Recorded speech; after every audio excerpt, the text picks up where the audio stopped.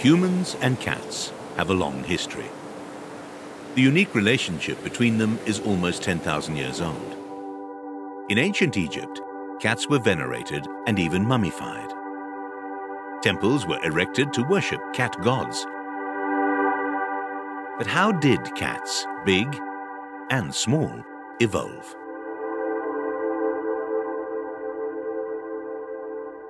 The earliest fossils of the first real cat belong to a medium-sized predator called Pseudailurus that lived in Asia 11 million years ago. Experts believe that it was the progenitor of all modern cats.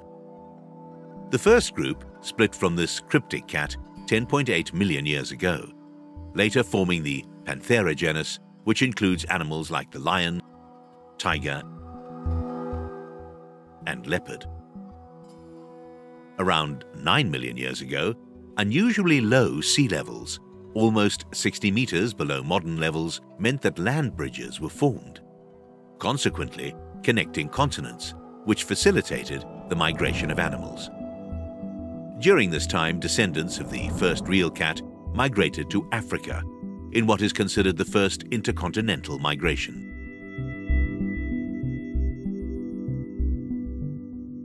This gave way to the caracal genus, forming African cats like the caracal. While Asian cats migrated to Africa, they also crossed the Bering Land Bridge to North America. As sea levels rose again, continents were separated and new species evolved. By now, cats spread across Asia, Africa, Europe, and North America. More migrations followed with the receding of oceans, giving birth to cat species like the ocelot, lynx, and puma in America.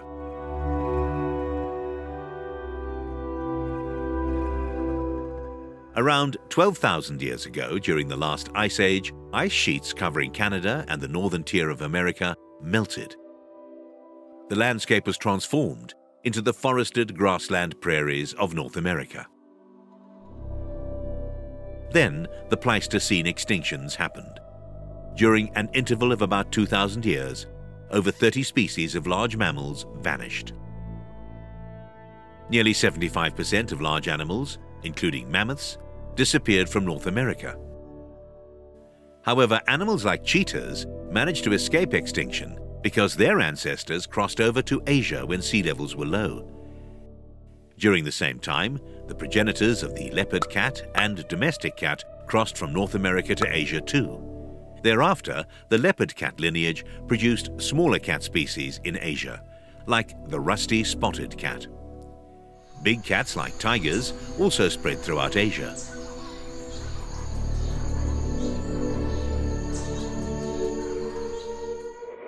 whereas in the Himalayas, snow leopards thrived in high elevations. Leopards also spread in Africa alongside lions.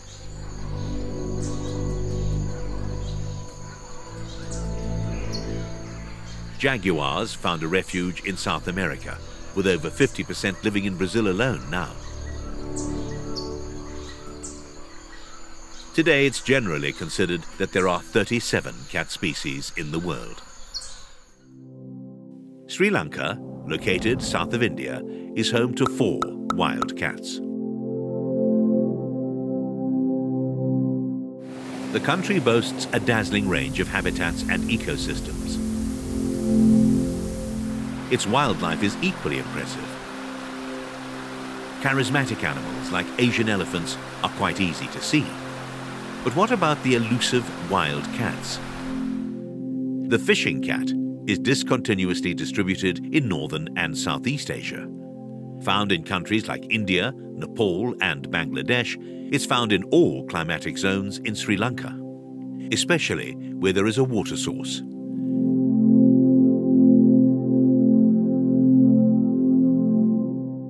Wetlands, rivers, and mangroves are the preferred habitat of this feline but they are found in urban areas too.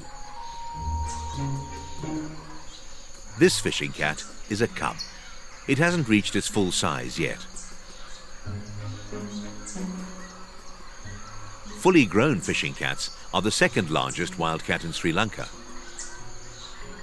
And sometimes they're mistaken for juvenile leopards. Unlike most cats, these elusive felines prefer to live near water. And there's a reason for that.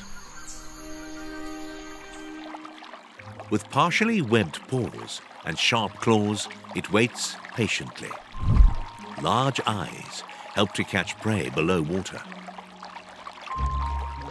Their diet mostly consists of fish, though it will eat amphibians and water-associated reptiles. Fishing cats were once thought to be common, but with the destruction of wetlands, their habitat has rapidly dwindled. For the past 12 million years, the basic anatomy of the cat has remained unchanged. Most felines have a similar structure. Their physical characteristics are fine-tuned to a predatory lifestyle. Though there are anatomical variations, most felines function the same way. Aided by soft toe pads that muffle their sounds, they carefully stalk or ambush prey.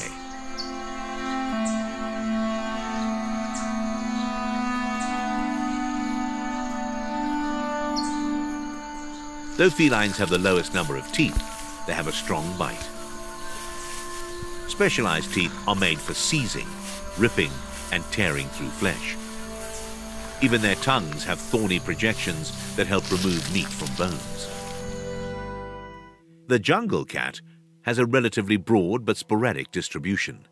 Found in countries like India, Bangladesh, and Myanmar, it's normally found at elevations below 1,000 meters. In Sri Lanka, they're mostly seen in dry zone forests and even near towns. Jungle cats also dwell close to cultivated land, artificial wetlands, and forest plantations. During the day, they conceal themselves, waiting to hunt under the cover of darkness. With nightfall, they become active. Cultivated lands have a dense rodent population, and jungle cats aren't picky eaters. They'd happily consume whatever they can catch. Solitary hunters, they are known to catch birds in flight by leaping into the air but, like the fishing cat, their habitat is threatened too. Cats are true carnivores. More than other animals, cats require more protein, hence meat, skin and bone form a large part of their diet, almost exclusively. Millions of years ago, the ancestors of modern cats became exclusive meat eaters. Rewinding back 65 million years ago, following the extinction of dinosaurs, when oceans and continents were similar to the maps of today, primitive creatures called miacids roamed the planet. Experts believe that all carnivores evolved from this small-bodied creature.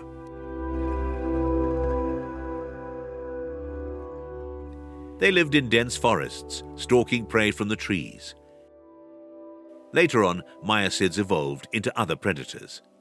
12 million years later, feline evolution formed the ultimate predator.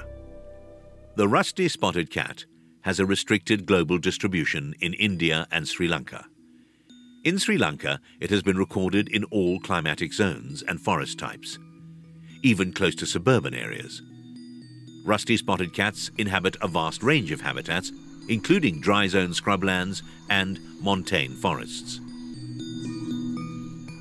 Out of all four wildcats in Sri Lanka, it's the most elusive and rarest.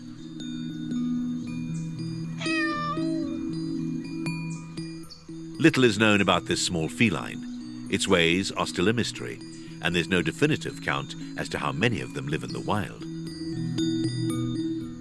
Though small, this cat has a reputation as a fierce fighter.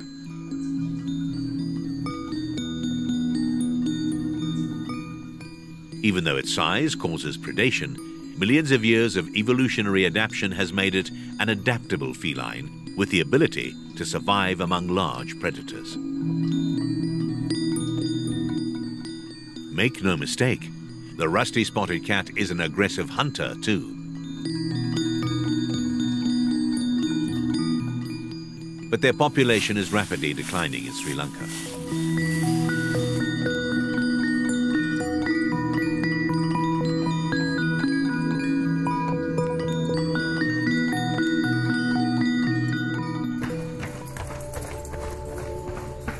Predation is the way of life in the wild. Without predators, the prey population would escalate to the point where space and food would be scarce.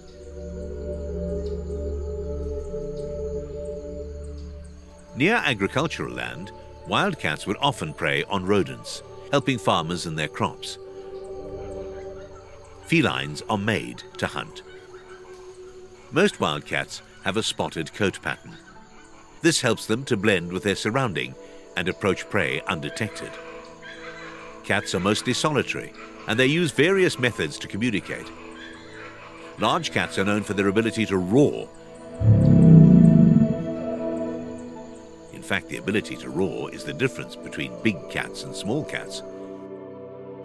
Big cats, such as lions, have a non-ossified hyoid bone in the larynx that enables them to roar.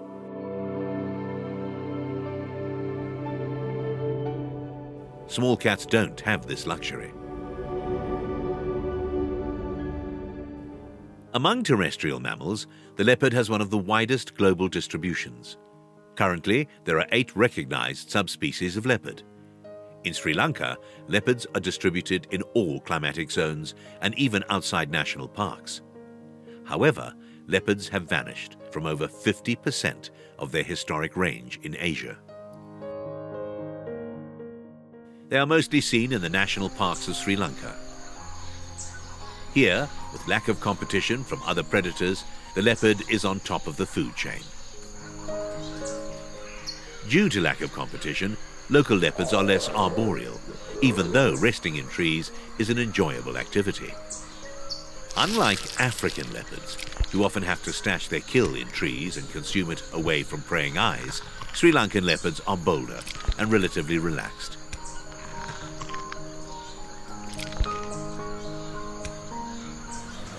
In national parks, they are the major attraction. A safari wouldn't be complete without spotting a leopard.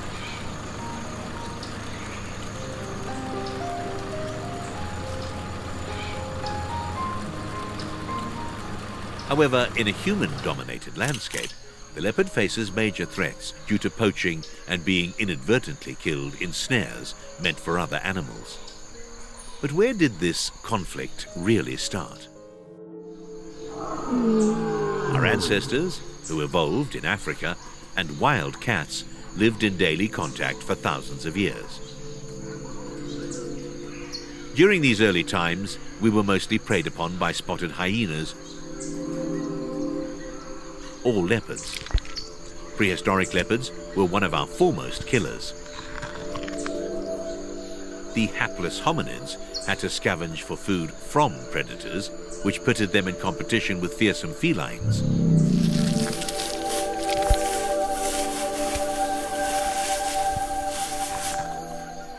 But as our evolution progressed through the Homo erectus lineage, and especially with the advent of tools, the game changed. Large animals were hunted by our ancestors. Thus the tables turned and we became the dominant predator.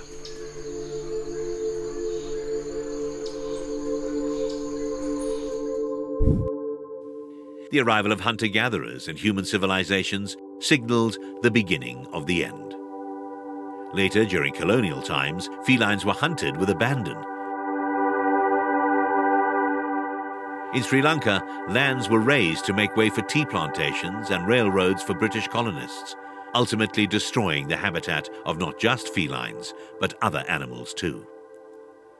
With 22 million people living in Sri Lanka, Coexistence between animals and humans is more imperative than ever before wildlife goes extinct.